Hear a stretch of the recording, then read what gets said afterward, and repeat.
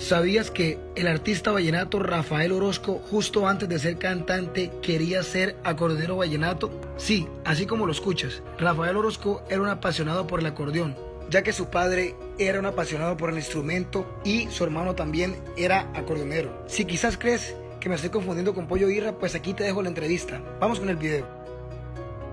Me imagino que allá en Becerril el, el, agua debe ser fría, que baja de la sierra. Cuando se bañaba, en, todo el mundo dice que ¿Sí? Te voy a decir lo siguiente.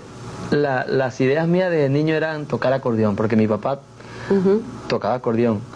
Eh, mi hermano mayor que falleció, Misael también, y otro hermano, eh, José Joaquín, que también tocaba acordeón. Su destino era el acordeón. Entonces yo, la idea mía era tocar acordeón. Entonces en, en una ocasión, en un paseo que hubo en Becerril, hubo un accidente y y mi mamá eh, cogió el acordeón y dijo que más nadie iba a tocar porque eso traía, cuando se iban en parranda, podía causar una tragedia, entonces le quitó la idea a mis hermanos y por supuesto a mí. Pero usted todavía no cantaba ni... No, yo no tenía, yo, mi, mi, mi, idea era el acordeón y yo más o menos sabía tocar el acordeón, todavía lo que aprendí desde niño, todavía no lo sé, no, no, me he olvidado lo que se aprende. Israel le da a veces su chancecito.